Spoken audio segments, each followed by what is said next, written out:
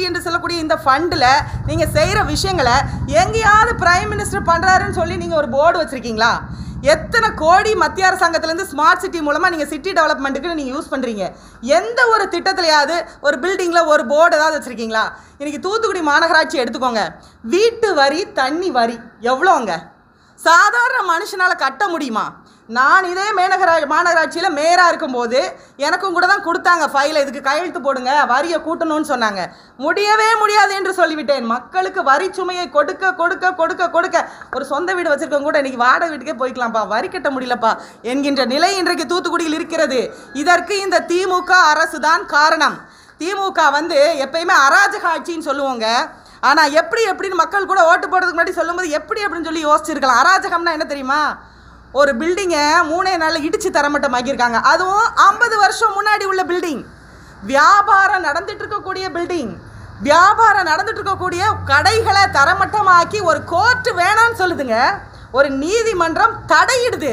அதை மீறி உடைக்குதுன்னா திமுக ஆட்சி அரக ஆட்சியா இல்லையா என்பதுதான் இன்றைக்கு மக்களுடைய கேள்வி.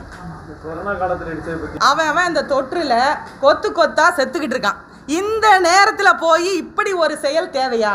எத்தனையோ ஆக்கப்பூர்வமாக மக்களுக்கு நீங்கள் செய்ய வேண்டிய நேரம் இது. கொரோனாவில் வந்து மக்கள் செத்துட்டு இருக்க டைமில் ஒரு வியாபாரிகளுடைய வாழ்வாதாரமாகிய அந்த பில்டிங்கை ஒரு வியாபாரிகளுடைய சந்தையை இவ்வளோ வேகமாக இடிக்க வேண்டிய காரணம் என்ன? இதை வியாபாரிகள் தூத்துக்குடியில் உள்ள வியாபாரிகள் விடமாட்டார்கள். அவர்கள் வந்து மத்திய அரசாங்கத்திலிருந்து கொண்டு வர்ற நிதியில தானே நீங்க கட்டுறீங்க? இவ்வளோ அராஜகம் பண்றீங்க. இது மத்திய அரசாங்கத்தின் பிரதம மந்திரி அவர்களது கவனத்திற்கு நிச்சயமாக கொண்டு செல்லப்படும். மத்திய மந்திரியின் கவனத்திற்கு நான் கொண்டு செல்வேன். இப்படி ஒரு அராஜக போக்கை இனிமேல் திமுக தூத்துக்குடியில் செய்ய முடியாது என்பதை இந்த நேரத்தில் தெரிவித்துக் கொள்கிறேன். தரப்பில் பிஜேபி தரப்பில் திமுகவின் இந்த அராஜக போக்கு வன்மையாக கண்டிக்கப்படுகிறது.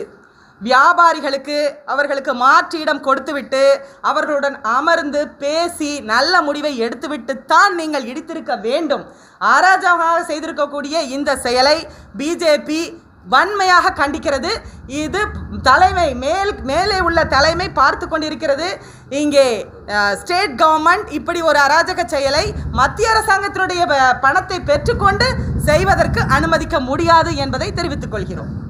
தடுப்பூசி கண்டுபிடிக்காத நிலையில் இந்திய நாடு தன்னுடைய ஆராய்ச்சி மக்களினுடைய வசதியால் நம்மளே நம்ம நாட்டுக்கு தடுப்பூசி கண்டுபிடிச்சிருக்கோம் என்பது மி- முதல் மிகப்பெரிய பெருமை பாரதிய ஜனதா கட்சிக்கு இது சாரும். அப்படி கண்டுபிடித்த தடுப்பூசியை மாநில அரசாங்கத்திற்கு அதிகமாக நாம் நாம் வழங்கி கொண்டிருக்கிறோம். மத்திய அரசு வழங்குகிறது. ஆனால் மாநில அரசாங்கம் என்ன செய்ய வேண்டும்? அந்தந்த பகுதிக்கு ஒழுங்காக எடுத்து செல்லப்படுகிறதா?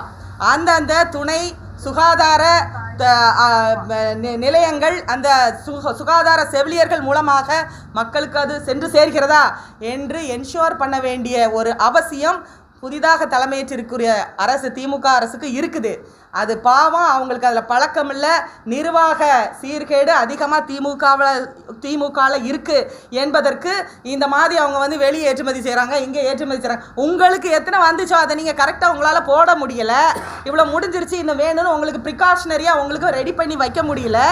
அதனால் இப்படி வெளி ம மத்திய அரசாங்கத்தை சொல்கிறாங்க திமுக அரசாங்கம் வந்து ஒரு நிர்வாக ஒரு ஒரு சீர்கேட்டை இன்றைக்கு செய்து கொண்டிருக்கிறது.